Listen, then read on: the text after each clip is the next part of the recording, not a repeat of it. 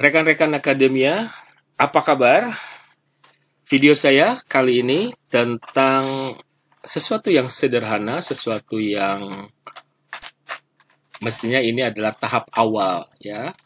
Tahap awal sebelum Anda melakukan analisis data, yang perlu dilakukan adalah bagaimana menginput data ya, data dari misalkan Anda baru saja melakukan uh, menyebarkan kuesioner kepada responden Anda ya. Jadi uh,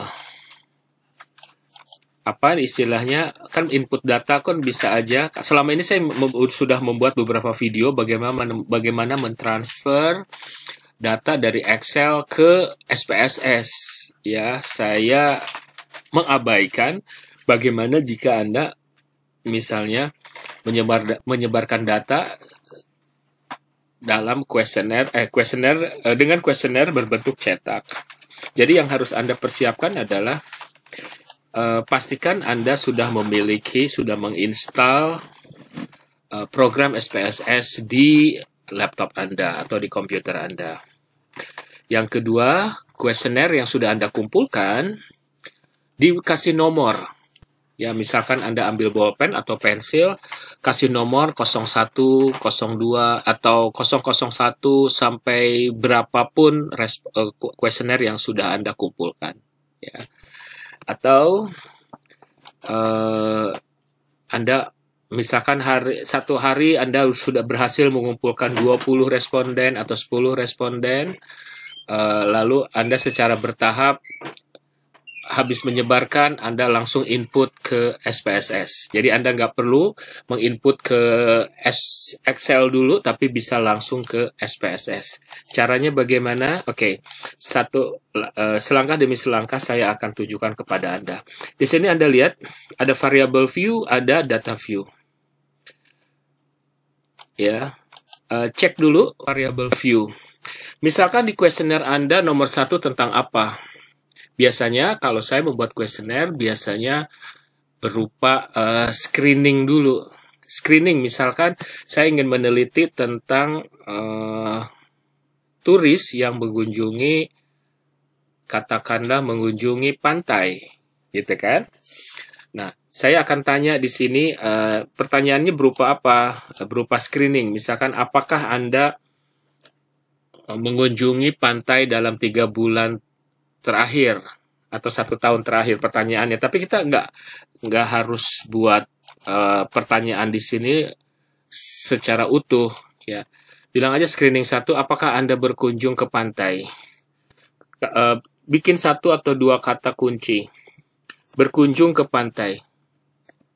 Ya berkunjung, misalkan ber, berkunjung lah eh, atau well anyway berkunjung ya. Uh, label di sini Terus kemudian kita isi berkunjung ke pantai, misalkan gitu ya. Value, value di sini jawabannya apa? Uh, Anda punya jawaban ya dan tidak. Satu untuk ya, add, lalu oke. Okay. Eh, jangan oke okay dulu. Dua untuk tidak. Add, oke. Okay. Sip. Lalu berikutnya, pertanyaan berikutnya. Tadi kan apakah Anda berkunjung ke pantai dalam tiga bulan terakhir, misalkan ya. Yang kedua, uh, ada screening lain. Screening itu filter ya, pertanyaan yang membuat uh, responden kita tuh tersaring gitu, nggak jadi nggak sembarang orang. Pertanyaan kedua, saya mencari responden yang tiga bulan terakhir mengunjungi pantai. Yang kedua, yang uh, sudah menikah, misalkan ya, Berarti di sini status pernikahan. Oke, langsung di sini status pernikahan. Pernikahan. Di sini satu belum menikah, dua menikah, yang ketiga misalkan e, berpisah atau bercerai. Orang bercerai belum tentu berpisah. Eh sorry, orang uh, ber, berpisah belum tentu bercerai kan? Jadi saya bikin statusnya yang ketiga, yang keempat adalah uh, pasangan meninggal. Nah, ini status pernikahan secara umum begini. Belum menikah, menikah, bercerai atau berpisah dan kelima ini pasangan meninggal. Artinya kalau dalam konteks uh, bahasa Inggris, pasangan meninggal tuh kalau kalau janda eh kalau perempuan disebut janda, kalau atau widow, kalau laki-laki disebut duda kan widower. Jadi saya tulis dulu empat. Kalau di kita, sorry, excuse me. Nah, kalau di Indonesia kan mau pasangan meninggal atau bercerai disebut janda atau duda. Di sini saya coba sambil meluruskan. Excuse me. Lalu klik OK.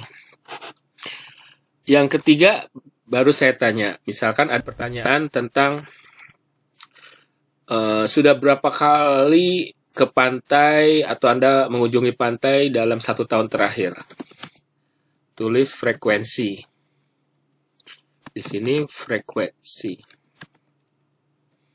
Misalkan uh, satu sekali, dua kali, tiga kali,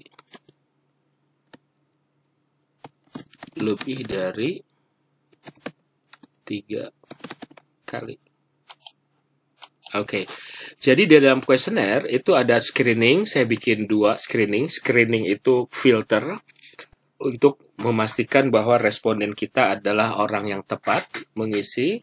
Kemudian kita bisa juga susulkan, kita ikuti dengan pertanyaan pertama, pertanyaan yang sifatnya tuh menggali atau untuk menjembatani atau untuk apa? Secara eh, pelan-pelan uh, kita membawa responden ke dalam inti dari kuesioner kita. Jadi kita bikin Uh, jadi tidak langsung tidak ujuk-ujuk jerak gitu kan dengan pertanyaan-pertanyaan kita, tapi dibikin smooth supaya masuknya itu gampang, enak gitu kan. Jadi mengkondisikan dulu si responden kita. Berikutnya lagi, misalkan uh, saya mau fokus yang ke yang terakhir. Misalkan dengan siapa Anda berkunjung ke pantai uh, ketika uh, saat uh, saat kunjungan terakhir kali ke pantai dengan siapa Anda uh, berkunjung gitu kan dengan siapa gitu. Uh, mungkin di sini teman perjalanan atau apa? Ya, anggaplah ya begitu. Di sini teman perjalanan. Di sini misalkan satu uh, sendiri, dua dengan pasangan. Pasangan itu bisa suami, istri, bisa juga pacar kan. Yang ketiga dengan anggota keluarga. Yang keempat eh, teman, gitu kan. Empat dengan eh, teman ini bisa teman kerja, bisa teman teman main atau bisa juga di sini uh, misalkan dengan grup perusahaan ya kadang-kadang satu perusahaan pergi ke sebuah uh, ke sebuah destinasi untuk entah apa pun kegiatannya. Uh, oke okay, se sebentar. Uh, ini lima lima. Enam. Misalkan kita katakan yang terakhir ya, yang terakhir itu bisa dengan teman, bisa atau lainnya ya. Kita tulis lainnya. Oke. Okay. Nah, kemudian eh, saya mau jelaskan dulu ya. Di sini kita ketika menuliskan label di sini menuliskan nama nggak boleh membuat spasi. Ya kita harus menggunakan entah itu strip, entah itu underscore, entah itu kalau itu dua kata kita gabungkan ya. Teman perjalanan gitu. Sementara di sini boleh-boleh aja ya. Terus yang kedua disarankan ini ini uh, tipenya ini ada tipe data, ada numerik, ada string, ada macam-macam. uh, saya kasih perbandingan aja ya. Ketika kita mengisi kuesioner, membagikan kuesioner online, lalu kita data kita apa istilahnya, kita sedot, kita unduh, maka yang diunduh kan data uh, berupa Excel kan. Nah Excel itu ketika kita copy paste ke SPSS biasanya tipe datanya itu berupa string untuk bisa diolah di dalam eh string. Kalau di sini string no problem. Ya, tapi kalau itu udah misalkan sudah menjadi nah ini sekarang saya yang mau saya jelaskan. Misalkan kita udah langsung masuk ke uh, variabel ya. Variabel satu Anda ngomongin soal motivasi. Motivasi Anda tulis aja uh, M satu ya M2 M3 M4 jadi variabel motivasi katakanlah ada ada empat. Kita tulis variabel uh, pernyataan satu pernyataan dua tiga empat atau indikator satu dan seterusnya. Yang di sini kita lihat saya akan copy Ctrl C lalu di sini Ctrl V. Saya ngeblok 4, di sini pun saya ngeblok 4. Berikutnya kita ngomongin soal misalkan eh, brand uh, destination image D1, D2, D3, D4, D5. Misalkan ada D ada 5 ya. Langsung aja. Oops. Oke. Okay? Nah, terus dan seterusnya ya.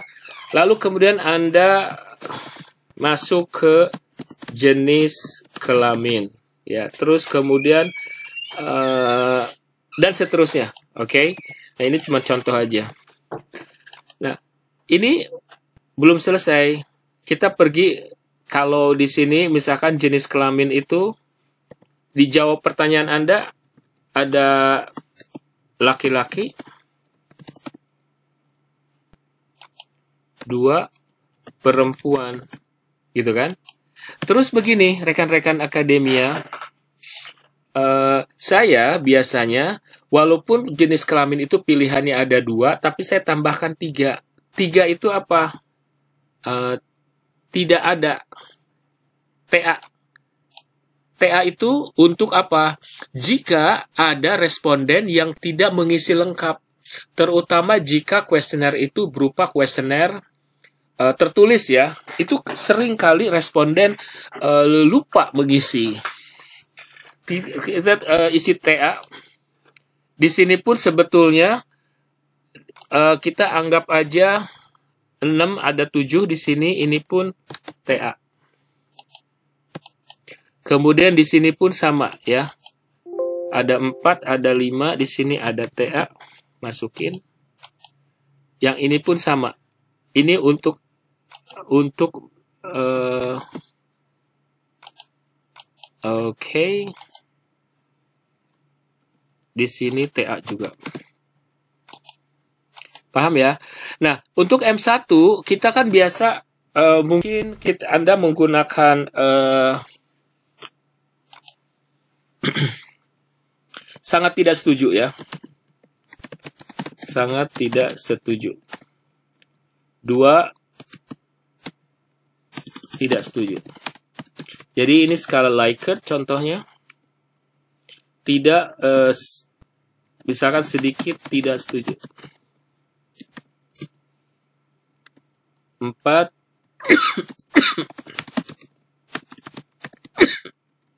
Sorry.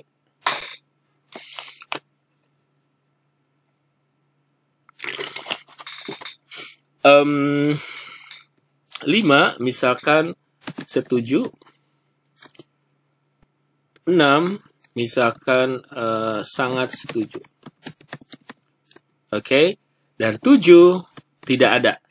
Sekali lagi tadi